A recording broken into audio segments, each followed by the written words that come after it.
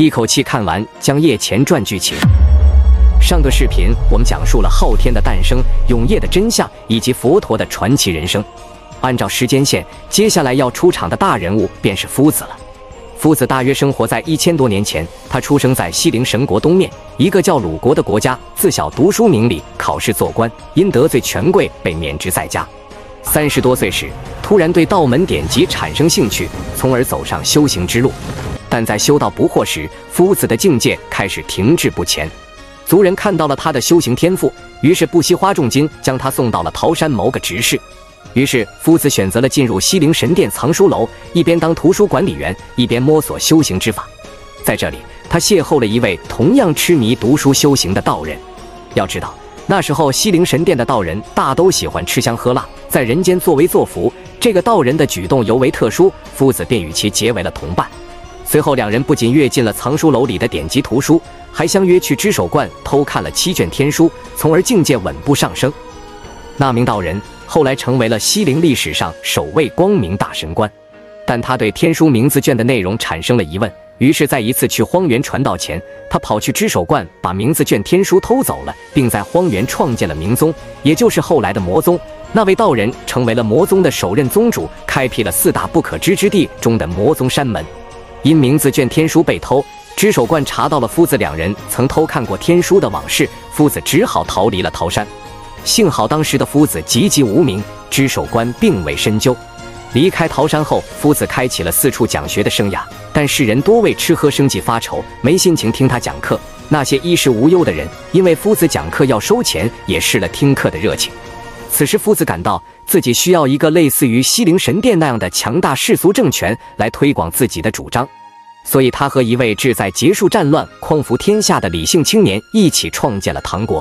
后来的大唐国力渐强，兵甲渐盛，后来更是打遍诸国无敌手，西陵神殿也不得不承认了唐国的特殊地位。夫子在长安城设下了守护唐国的第一大阵精神阵，还在城南开了间书院，开辟了四大不可知之地中的书院后山。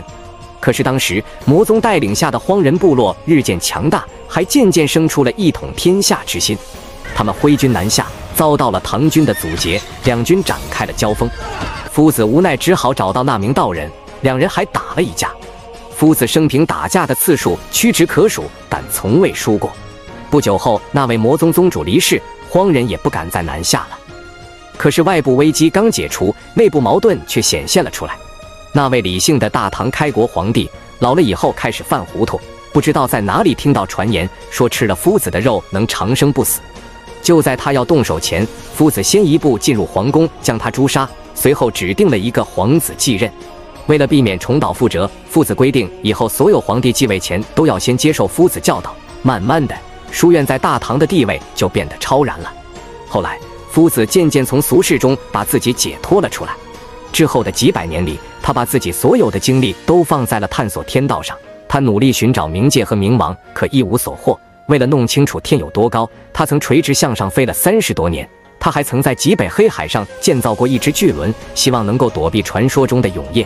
最终，夫子认定这个世界上没有冥界，也没有冥王。为了验证自己的结论，他四处跋涉，踏破了几百双鞋，终于找到了永夜的幸存者屠夫和酒徒，还和两人打了一架。虽然夫子赢了，但两个懦夫对天道之事却不发一言。第八个出现的大佬是书院的小师叔柯浩然。柯浩然出现在大约四十年前，他是人间万事以来雪山气海唯一一个十七窍全通的天才人物，是一个没有破镜障碍的怪胎。他十六岁入长安，夫子发现，顿时眼前一亮。夫子意识到自己资质普通，所以想不出战胜昊天的方法，而这个年轻人资质远胜自己，如果悉心培养。也许真有可能完成自己的夙愿，于是夫子提出要收他为徒，一起探索昊天世界的秘密。但柯浩然却直接拒绝了，因为在他心里，这世上就没人有资格当他的老师，即便是夫子也不行。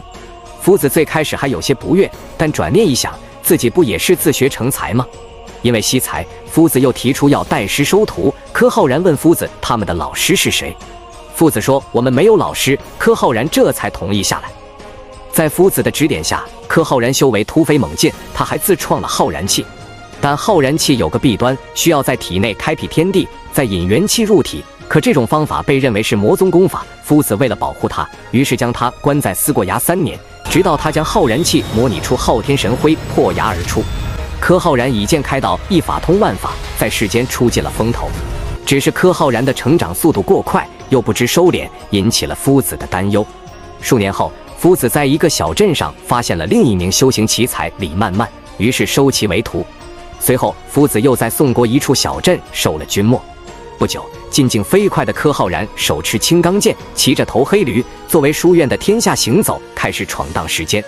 也就是这时候，他结识了另一位天才人物连升三十二。